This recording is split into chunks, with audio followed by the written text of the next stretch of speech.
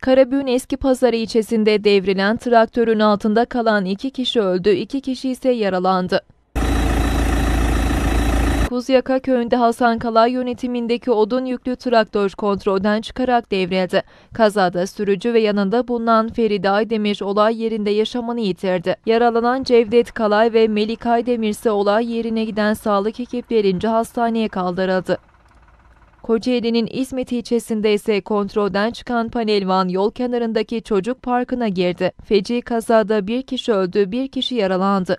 Malta mahallesinde rampa aşağı inen Yusuf Deri'nin kullandığı panelvan kontrolden çıkarak yol kenarındaki çocuk parkına uçtu. Parktaki ceviz ağacını da parçalayan araç kaydıra çarptıktan sonra durabildi. Bölgeye polis ve sağlık ekipleri sevk edildi. Kazada yaralanan sürücü Derin'le yanındaki Enes Karabulut ambulansla hastaneye kaldırıldı. Ağır yaralı 21 yaşındaki genç sürücü yapılan tüm müdahaleye rağmen kurtarılamadı.